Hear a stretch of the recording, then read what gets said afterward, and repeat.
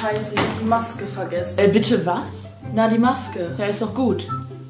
Schmeiß das doch weg. Also weißt du, auf Party können sie zu 300 Mann gehen, aber dann in der Bahn, wenn ich dann neben einem sitze, muss ich das Ding in der Fresse haben. Also da kann ich mich nur wieder aufregen drüber. Ja, und wenn ich sie jetzt nicht trage, muss ich Strafe zahlen. Oh, jetzt drohen sie auch noch. Jetzt drohen sie dir auch noch. Ja, ich zahle die nicht. Aber was ist die Freiheit wert? Gut, dann gehe ich jetzt einfach und du zahlst an meinen Strafen. Ja, also so habe ich das jetzt auch nicht gesagt. Also du musst dann schon äh, mit den Konsequenzen äh, leben, ne? Hä? Ja.